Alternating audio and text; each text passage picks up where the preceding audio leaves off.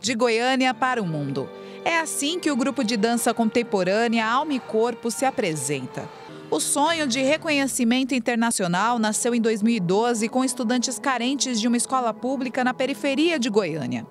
Jovens dispostos a dançar e desbravar o mundo da arte.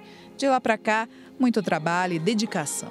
Às vezes é uma loucura, às vezes é bom, às vezes a gente passa raiva, às vezes todo mundo está com raiva um do outro, mas ao mesmo tempo a gente já já está sorrindo um para o outro, porque a gente precisa, a gente tem que ter essa união, a gente tem que se dar bem até para as coisas fluírem bem aqui dentro.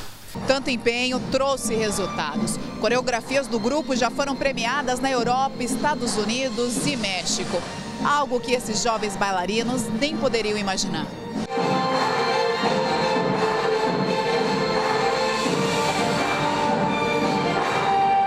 Coreógrafo e um dos fundadores do projeto, Walter se emociona ao falar das dificuldades que o grupo já passou. A gente não teve muitas oportunidades, né? E eu falo assim para os meninos, né? Para os meus grandes bailarinos, não vamos esperar a oportunidade. Nós somos a oportunidade. Né?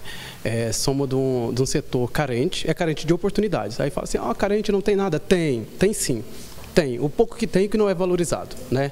Um projeto tão bacana e outros projetos que tem na, na região, mas não é valorizado. O espetáculo A Dança Transformando Realidades faz parte de uma campanha para arrecadar fundos para o grupo que não conta com nenhuma ajuda financeira. Nós fazemos eventos, as meninas vendem bombons, né? A gente faz, nós temos um bazar de roupa usada bem em frente da escola que a gente conseguiu um galpão lá para a gente estar tá usando.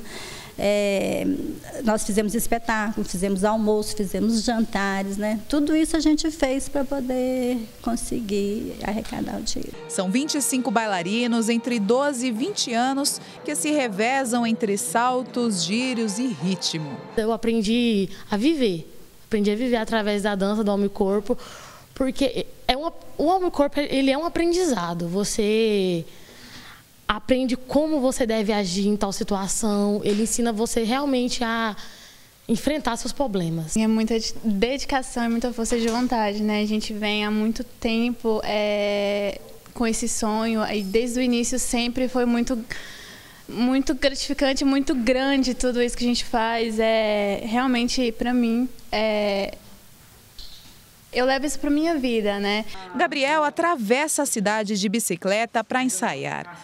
Ele encontrou na dança um motivo para sonhar e transforma os obstáculos em superação. Dedicação, persistência e força de vontade, porque sem ela nada se consegue, nada se conquista.